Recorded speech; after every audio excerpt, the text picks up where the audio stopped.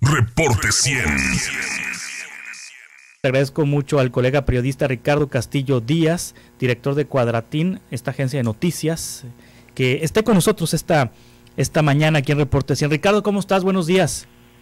¿Cómo estás, Juan Carlos? Qué gusto, qué gusto de verdad saludarte de nuevo. Igualmente es un gusto coincidir contigo, Ricardo. Ricardo, ¿hay candidato de Morena a la gubernatura en este momento o no hay candidato?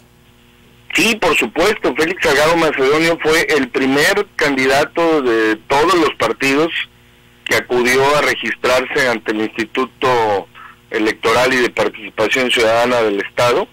Y bueno, pues él está debidamente registrado desde hace ya una semana, o más de una semana. Y bueno, pues hasta este momento Morena no ha eh, hecho ningún movimiento, ningún aviso de sustitución del candidato. Sin embargo, hay que decir que los plazos electorales indican que eh, apenas venció ayer, antier, el, el plazo para los registros y ahora el instituto tendrá que emitir eh, pues un fallo acerca de los eh, aspirantes, de los candidatos, para ver si cumplen con todos los requisitos. Una vez que eso suceda, bueno, pues cualquier partido tiene derecho a sustituir los candidatos que quiera, pero eh, bueno, pues eh, eh, es solamente con la condición de que renuncie de manera voluntaria. Sí, es decir, Félix Salgado Macedonio tendría que renunciar a la candidatura, a la gubernatura de Guerrero, y aunque en este nuevo proceso interno que ha lanzado Morena le gane otra persona. Así es, se dice que incluso Mario Delgado estuvo ayer, antier en Acapulco para eh, requerirle a Félix Delgado esta, esta renuncia como requisito para poder participar en la en la encuesta, en la nueva encuesta, eh, porque bueno, pues eso daría como más certeza a todos los demás participantes. Sin embargo, pues parece que no no la consiguió.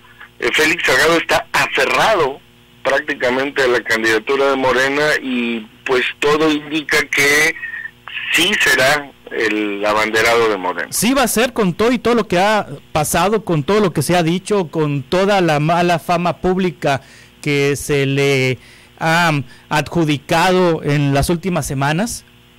No se ve, eh, Juan Carlos, ningún eh, elemento como para decir que vaya a haber una sustitución. Sí. Es decir, eh, hasta este momento, incluso eh, el día de hoy, estamos amaneciendo con eh, una declaración muy fuerte del aspirante Luis Walton Aburto, que es, digamos, como el, el que habría quedado en segundo lugar en las encuestas, en las primeras encuestas. Él fue expresidente municipal de Acapulco, ex senador de la República, y él eh, señala precisamente que eh, no hay confianza, no hay certeza en ese segundo proceso, en esa reposición, pues simplemente por el hecho de que Félix Salgado no, no renunció y porque volvió a participar, volvió a ser considerado en la encuesta. Entonces, en realidad, pues todo parece un engaño para poder legitimar su candidato. Sí, eh, ¿y por qué eso hizo Morena, Ricardo Castillo Díaz, periodista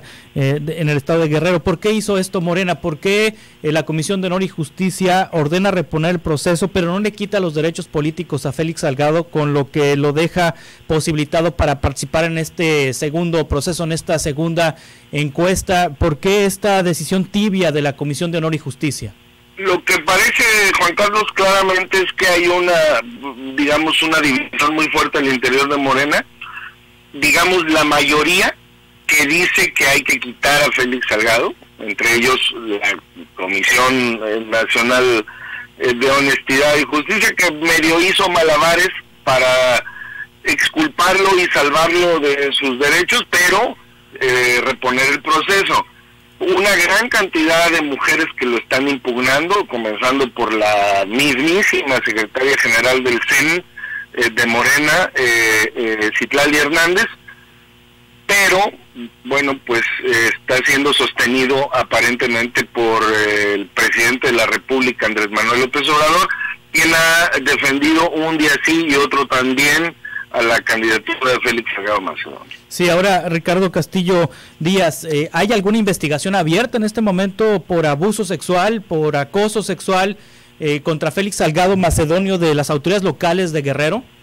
Sí, sí hay una por lo menos. Sí. Eh, la Fiscalía General del Estado acaba de precisar, porque había muchas lagunas en ese sentido, acaba de precisar que está perfeccionando una de las eh, denuncias eh, que se trata de una ex empleada eh, del, de Félix Salgado Macedonio que trabajó con él en un en un periódico aquí en Guerrero el periódico La Jornada de Guerrero del cual bueno Félix Salgado es era el director y la Fiscalía General del Estado ha dicho que está perfeccionando esta averiguación eh, aunque bueno, hay un dato fundamental en este caso.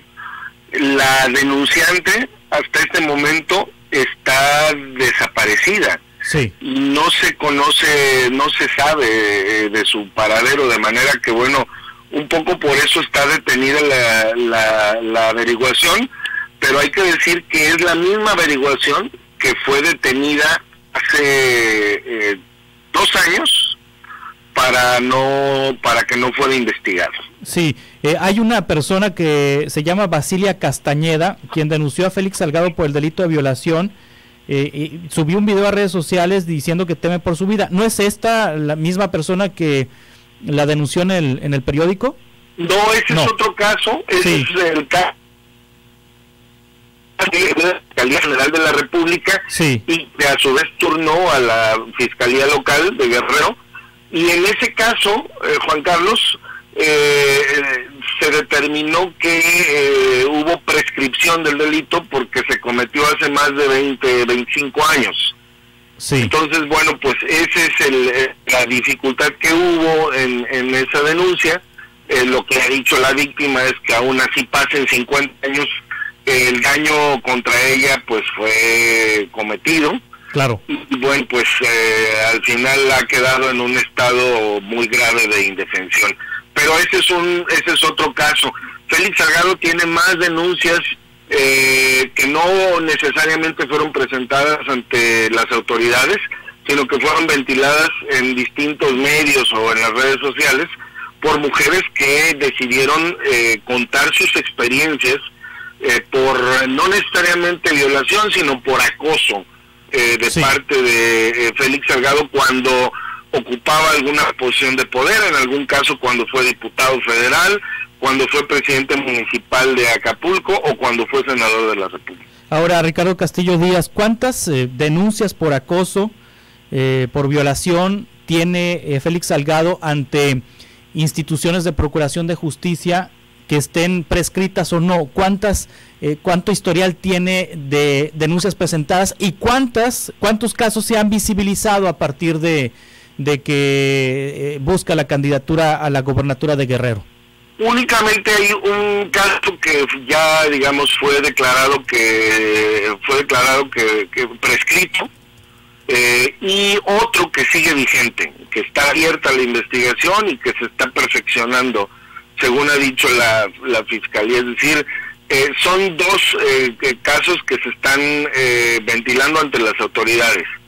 Pero hay otros, por lo menos cinco casos de acoso que han sido denunciados ante los medios. Es decir, estamos hablando entre seis, por lo menos seis o siete casos de violación y, también de acoso sexual.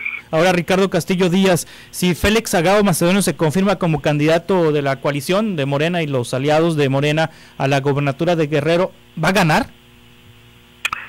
Pues hay una alta posibilidad de que Morena gane la gubernatura. Eh, en las encuestas aquí en Guerrero, bueno, pues eh, Morena hace, eh, ¿qué te puedo decir? Un mes tenía porcentajes de incluso del 50 o menos, poco menos del 40%, aunque ahora se habla de que ya con Félix Salgado como candidato ha caído hasta el 30% de las preferencias electorales. Sin embargo, el, el, candidato de la Alianza, el candidato del PRI y del PRD, que en este caso es el expresidente municipal de Chilpancingo, Mario Moreno Arcos, no alcanza tanta, eh, tanta puntuación eh, y eh, se habla de que todavía está 10 puntos abajo de Félix Salgado Macedonio, de manera que, bueno, aquellos 20 puntos que tenía Morena de ventaja en Guerrero se han caído a, por lo menos eh, 10 puntos de diferencia, pero esto sigue implicando una ventaja amplia para el candidato de Morena. Sí, eh, ¿qué, qué, significa eh, cuando Félix Salgado Macedonio dice hay toro? O sea, ¿a qué se refiere? Bueno, es que eh, el apodo por el que ha sido conocido Félix Salgado Macedonio es el de toro sin cerca. Sí. Félix Salgado Macedonio cuando saltó a la palestra política, eh, bueno, pues eh, eh, le, fue conocido como el diputado Costales, porque allá por 1988 llegó a la Cámara de Diputados Federal, entonces Colegio Electoral Nacional, y con unos costales de boletas quemadas que llevaban votos a su favor y de Cuauhtémoc Cárdenas Solórzano. A partir de ahí, por su bravura, por ser, eh, digamos, por eh, confrontar, por enfrentar a los presidentes de la República con pancartas, en los informes de Ernesto Cedillo, eh, del propio Salinas, en fin, de, de, presidentes de la República, se le conoció como el toro sin cerca, por esa, digamos, rebeldía que siempre manejaba y ahora aquí la gente lo conoce como el toro este y bueno pues por eso él juega un poco con esa con ese símbolo que además ha sido muy criticado en estos días porque implica pues eh, cierto machismo, alusión a alguna virilidad, etcétera. Sí, ahora finalmente Ricardo Castillo Díaz, ¿cuál es la relación con López Obrador de Félix Salgado? ¿Por qué López Obrador lo defiende hasta la muerte?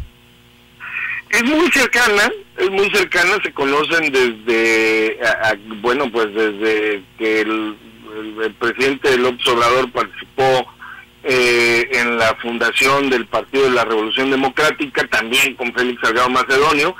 Eh, fue dirigente nacional del PRD cuando Félix Salgado fue candidato a gobernador, dos, eh, bueno, la segunda ocasión, en 1999 y bueno, pues han tejido una, una muy cercana relación. Sin embargo, aquí en los círculos políticos de Guerrero lo que se dice, más allá de los chismes políticos que dicen que hasta son compadres, lo cual no está necesariamente confirmado, pero existe esa posibilidad.